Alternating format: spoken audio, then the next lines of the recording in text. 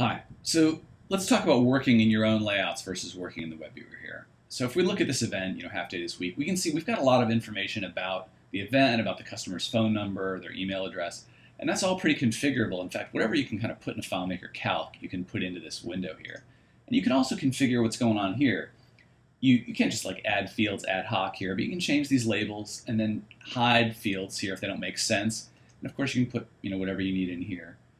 But you may need to replace this with your own layout. Right? You may need to work in your own layout. Maybe this event is a project and it's got hundreds of fields and all sorts of details, and you just this isn't enough for you to see. So there are a couple of options of how to work with this in your own layout, and um, let, let's check them out. So the first is we click here, we get this popover. We have this custom actions gear down here, and if we click there, you'll see that the calendar ships with this example of um, a view event record action.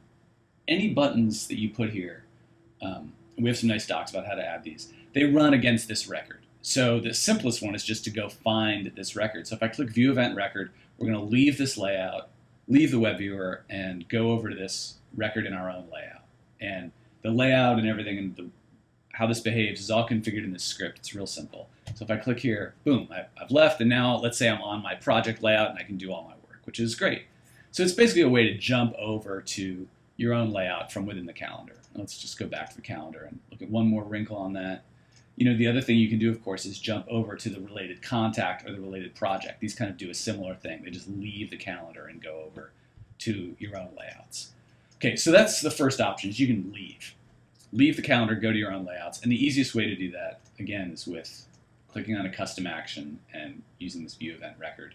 And of course, you can change the name of this. This is all configured. So what if we just don't want to use this popover at all? We want to just, when I click on the event, I just want to go right to my FileMaker record. So that's easy to do too. And let's look at the script where you configure that. So that's done in the source settings. And when we come in here for source number one, that's the source we're playing with, we'll see this option here to show the event details in a FileMaker layout. And we've currently set that to false, so let's set it to true. And you'll see some notes here about what these options really mean. It's pretty cool. So set that to true. And then the layout that we're going to use is, is right here. So that's already been configured for us. We did that as part of setting, excuse me, as part of setting up the calendar. So great. And by the way, here is where you configure those custom actions. Both the name of the button and the script you run are, are right here.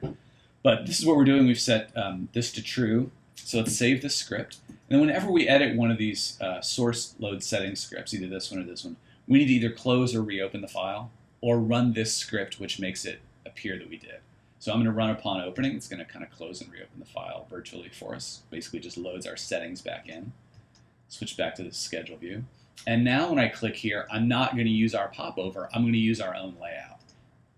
And there it is, our own layout, which is pretty cool. So again, if your layout is very complicated, like maybe this is a, a patient's record or a uh, or a, a, job and you have a lot of fields that you just can't fit in the popover and don't want to cram into the description, just jump over to your own layout like this, which is really, uh, really helpful.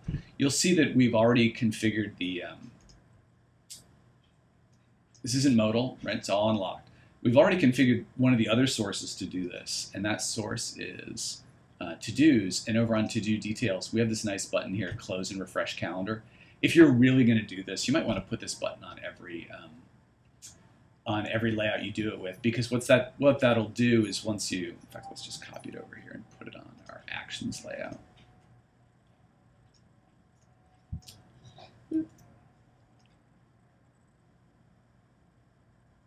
That's right. Go back in browse mode. Um, so what that button does is let's say that I change this so the event over here is currently um, paused. Let's say it's now awaiting approval.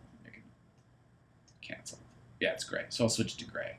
So now if I hit this button, close and refresh calendar, it'll not only just save this change and close this window, but it'll refresh the display back here, and that event will go gray, right? Otherwise, I would have just closed the event, and I would have had to manually come here and reload to, uh, to get this thing to refresh.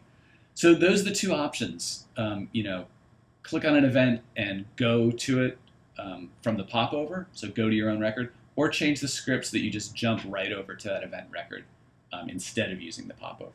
Thanks for watching.